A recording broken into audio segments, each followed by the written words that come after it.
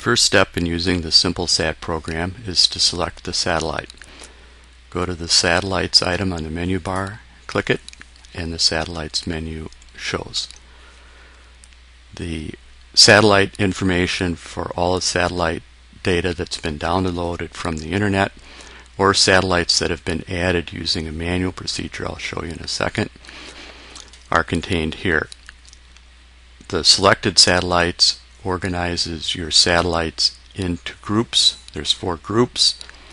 You can switch between groups by simply clicking on the radio button by the group name. Once you have selected a group, you can click on the predict item in the menu bar and the satellites for the currently selected group will be shown with the usual values for wait till AOS, sometimes called countdown, AOS, and so on. You can sort by any of these uh, columns by clicking on the column header. So if you want to sort by path length, you can click on it and it's sorted in ascending order. Click on it again, it'll be sorted in descending order.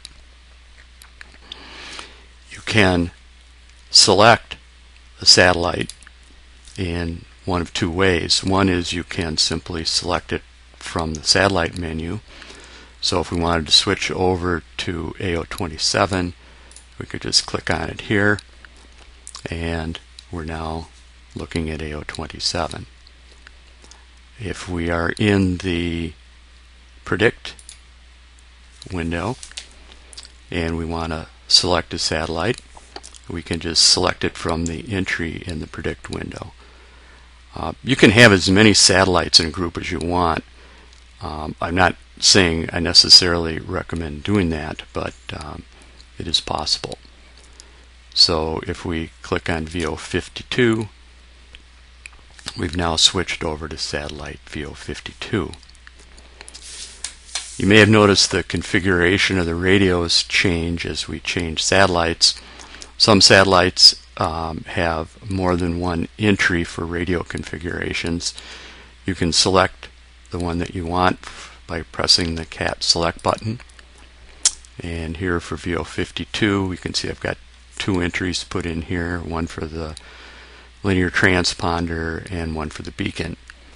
If you want to switch to a different configuration, you can just click on that line in the uh, cat select menu.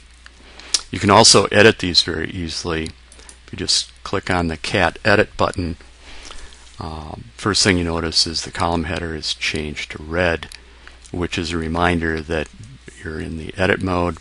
And you can go in and, and change any of these as you see fit. You can also add more lines. There's a blank, there will always be a blank line at the bottom here. So you can just enter in uh, new values as you see fit.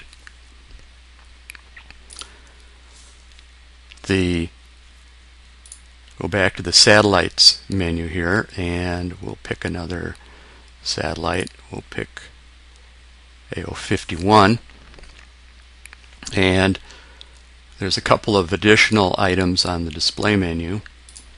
Uh, these are sort of carryovers from another project I was working on uh, and that is there's two ways of displaying the map information using a polar projection.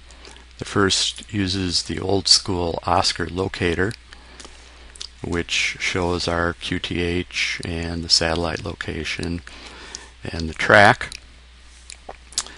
Uh, the other was a really interesting map that someone, Ham, had found at a some sort of flea market in Russia.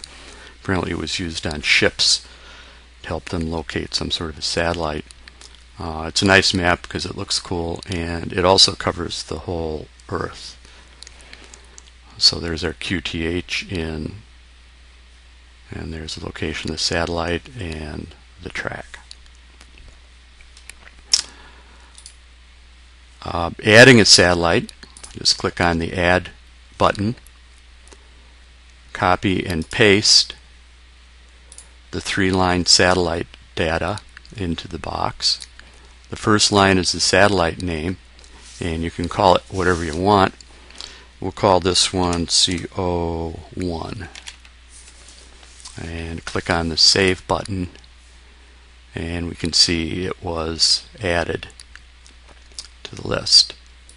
If we want to delete, we can pick the one or more that we want to delete from this menu. If we want to delete that CO1, we click on it, click delete.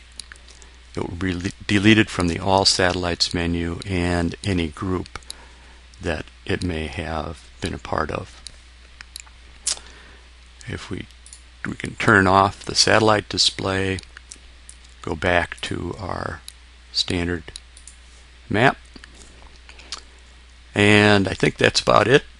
So I'll say, hope that maybe you found some ideas that you might want to use in a satellite tracking or station control program.